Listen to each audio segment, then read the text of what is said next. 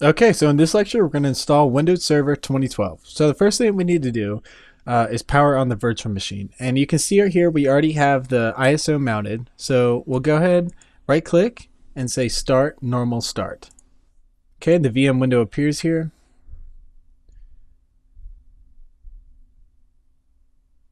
Now we can do right control and F, and that'll bring up full screen on a virtual machine.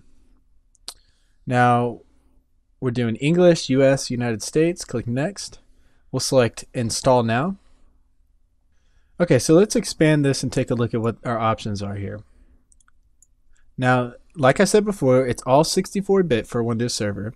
Now, we can install Server Core installation or Server with the GUI, and there's Standard and Data Center. Uh, basically, the difference is how many licenses you can apply. Uh, it's basically purchase and volume options.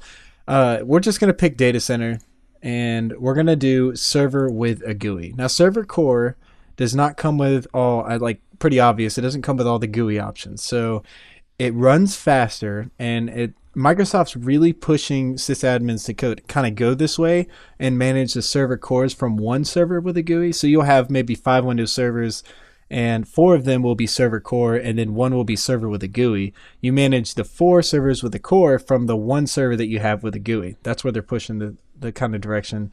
If you take uh, the MCSA exam, you'll find this that that's what they're recommending.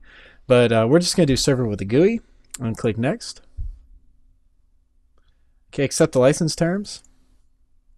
Now we're going to select custom and we're going to install Windows only. And it says advanced. I don't really know why it says that. Um, the other option is to upgrade, and we don't have anything installed, so we have to choose custom. Now we're going to choose drive zero, and we don't have anything on here. You can see it's got free 25 gigabytes. If there was data on here, we could click format and just wipe out the data, but uh, we don't need to do any of that, so we'll go ahead and click next. Now we just need to wait for Windows Server to finish its installation.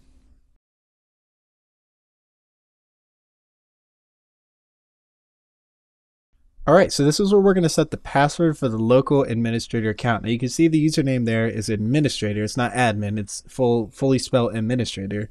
And I'm going to go ahead and create my password. You might want to write this down or use a password that you remember because if you forget it, you're going to be in a little bit of trouble. You have to rebuild or reinstall Windows.